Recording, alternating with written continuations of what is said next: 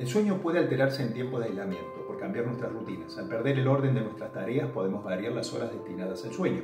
Acostarse tarde, dormir menos horas pueden terminar afectando el ritmo circadiano, el control que ejerce el cerebro para dormir bien por la noche y estar despierto para las actividades del día. A esto se le suma la preocupación que genera la pandemia. La incertidumbre de no saber la verdadera dimensión de semejante situación genera ansiedad y en muchos insomnio. La comunidad universitaria, gracias a las clases virtuales, puede continuar con la mayoría de sus actividades y eso es una ventaja ya que si mantengo un orden en las mismas evitaré el desorden en las horas de sueño. Consejos para un buen sueño en épocas de aislamiento. Mantener una rutina regular de las actividades. Planifique las horas de estudio como si estuviese concurriendo de manera presencial. Mantener 6-7 horas de sueño diario regular. Si hace siesta, breve. Destine 30-40 minutos por día para hacer ejercicio y hay numerosos portales en YouTube para hacerlo desde casa.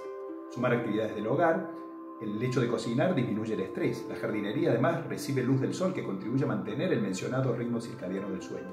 Respete el horario de las comidas, evite el picoteo y las cenas deben ser livianas ya que todo esto influye en la calidad del sueño. Por último, leer.